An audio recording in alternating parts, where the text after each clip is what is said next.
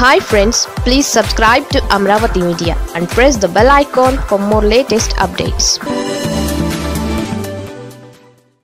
Pawan మళ్ళీ రెండు సీట్లలో పోటీ. ఆ రెండు స్థానాలు ఇవే. ఏపీలో జనసేనను ఈసారి ఎలాగైనా గెలిపించాలని పార్టీ చీఫ్ పవన్ కళ్యాణ్ భావిస్తున్నారు. అధికారంలో ఉన్న వైసీపీ ప్రభుత్వంపై ఉండే వ్యతిరేక ఓట్లు చీలకుండా చూసేందుకు అవసరమైతే టీడీపీ బీజేపీలతో పొత్తు పెట్టుకోవాలని కూడా కసరత్తు చేస్తున్నారు. అయితే గత అసెంబ్లీ ఎన్నికల సమయంలో రెండు నియోజకవర్గాల నుంచి పోటీ చేసి ఓటమి పాలైన పవన్ కళ్యాణ్ ఈసారి ఏం చేయబోతున్నారనే ఆసక్తి నెలకొంది. తాను గెలవడమే కాకుండా తాను పోటీ చేసే నియోజకవర్గాల వల్ల మరికొందరు జనసేన అభ్యర్థులను కూడా గెలిపించేలా వ్యూహం సిద్ధం చేస్తున్నారు. గతంలో మాదిరిగానే ఈసారి కూడా రెండు నియోజకవర్గాల నుంచి పవన్ పోటీ చేస్తారని జనసేన వర్గాలు చెబుతున్నాయి. కాపు సామాజిక వర్గం ఓట్లు ఎక్కువగా ఉండే గోదావరి జిల్లాల నుంచే ఈసారి బరిలోకి దిగాలని భావిస్తున్నారు.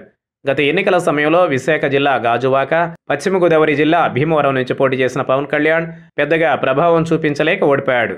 అయితే ఈసారి మాత్రం ఆ తప్పు జరగకుండా చూసుకుంటున్నట్లు తెలుస్తోంది.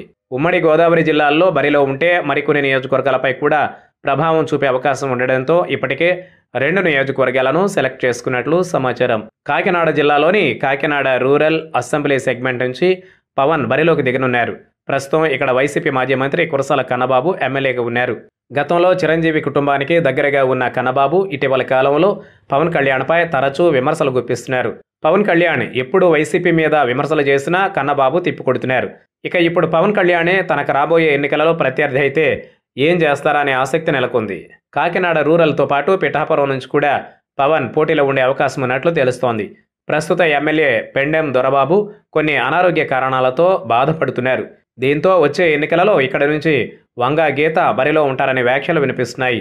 ఇప్పుడు పవన్ కళ్యాణ్ కనుక ఇక్కడ నుంచి కూడా పోటీలో ఉంటే గీత బరిలోకి దిగుతారా లేదా అనే అనుమానాలు నెలకొన్నాయి. పవన్ కళ్యాణ్ ఈ రెండు నియోజకవర్గాల్లో పోటీ చేయడం వల్ల కాకినాడ జిల్లాలోని నియోజకవర్గాలతో పాటు కోనసీమ తూర్పుగోదావరి జిల్లాల్లోని పలు నియోజకవర్గాలపై ప్రభావం ఉంటుందని అంచనా వేస్తున్నారు. కాకినాడ రూరల్ పిఠాపురం నియోజకవర్గాలలో కాపు సామాజిక ఓటర్లు ఎక్కువగా ఉండడం వల్లే ఆ రెండింటినీ సెలెక్ట్ చేసుకున్నట్లు పార్టీలో చర్చ జరుగుతోంది.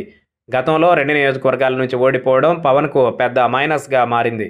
తరచూ వైసీపీ నేతలు కూడా ఇదే విషయాన్ని ప్రస్తావిస్తూ విమర్శలు చేస్తూ ఉంటారు.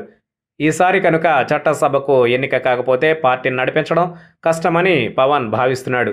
అందుకే సేఫ్గా ఉండే నియోజకవర్గాన్ని ఎంచుకుని గెలుపు కోసం కసరత్తు చేస్తున్నట్లు తెలుస్తోంది.